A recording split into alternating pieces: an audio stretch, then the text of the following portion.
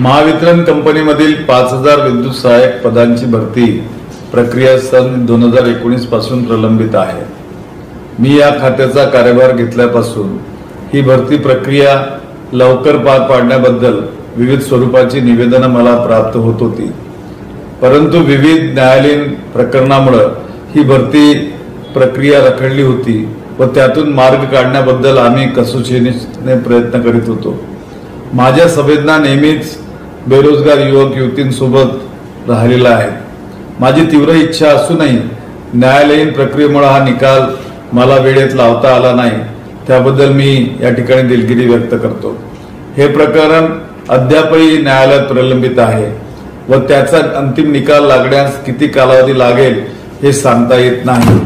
याकरिता मागील आठवड्यात महावितरण अधिकाऱ्यांसोबत चर्चा करून मी या विषयावर कायदेशीर मार्ग काढण्याच्या सूचना दिल्या होत्या. आजही मा महावितरणचे अध्यक्ष व व्यवस्थापकीय संचालक व ऊर्जा खात्याचे प्रधान सचिव श्रीयुत दिनेश वाघमारे यांच्यासोबत बसून मी या विषयावर चि- चर्चा केली. त्यानुसार ईडब्ल्यूएस हा प्रवर्ग वगळून इतर सर्व प्रवर्गातील उदा- उ- उमेदवारांचे निकाल न्यायालयाच्या निकालाच्या अधीन राहून लावण्याबद्दलचा निर्णय आज आम्ही या ठिकाणी घेतला आहे. उद्या दिनांक दोन ऑक्टोबर रोजी आपले राष्ट्रपिता महात्मा गांधी यांची जयंती आहे. या जयंतीच्या पूर्वसंध्येला म्हणजे आज रोजी विद्युत सहाय्यक या पदांचा निकाल जाहीर करण्यात येत आहे.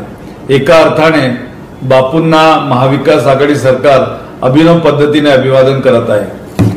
हा निकाल महावितरणच्या वेबसाईटवर थोड्याच वेळात उपलब्ध होईल.